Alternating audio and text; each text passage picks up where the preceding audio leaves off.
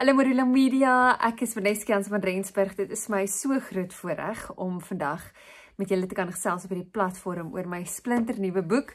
God is steeds God. Ek is baie baie baie opgewonde daaroor. In die begin van die jaar het ek so dringendheid um, in my hart gehad dat ek weer 'n boek moet skryf oor mense se se stories, getuienis. En nou ek het van hulle in die verlede gedoen. Maar dit was net so dringendheid en toe kom lockdown en ek hoor hoe mense hulle besighede moet sluit en hoe mense hulle werk verloor. Dit besef ek net, jy weet, ons het regtig in hierdie stadium in ons land hoop nodig en moed nodig vir die toekoms. So ek wil sommer net 'n storie met jou deel uit hierdie boek uit. Dis um, geskryf van A tot Z van God se karaktereienskappe. A is byvoorbeeld almagtig, B is beskermer, dan gaan dit nou so deur. Maar hierdie spesifieke storie val onder E vir God is enorm. Nou alhoewel hy enorm groot is, is hy ook betrokke in die detail in ons lewens en ek dink hierdie storie gaan vir jou dit dalk vandag net sommer weer demonstreer. Nou by die radio waar ek betrokke is, het ons op 'n gereelde basis so uitreik aksie waar ons die luisteraars vra om ons laat weet van iemand wat in nood is. Ons kyk dan deur die aansoeke en dan gaan verras ons na iemand by hulle huis.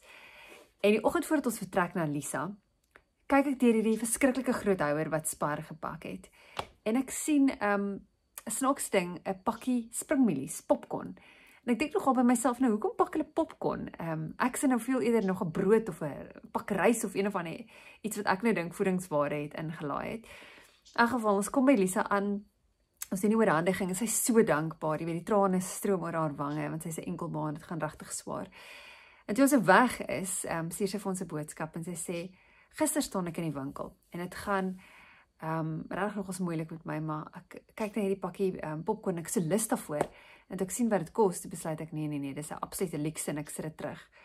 En vandag toe ek hierdie sak oopmaak, toe lê daai pakkie popcorn heel bo.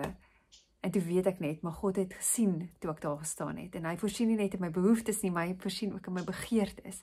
En nou is ek nie meer bang oor die pad wat voor lê nie, want ek weet hy stap saam met my. En dalk is jy ook daar vandag. Dalk het jy ook regtig moed nodig en hoop nodig en en net daai wete dat God ook van jou weet.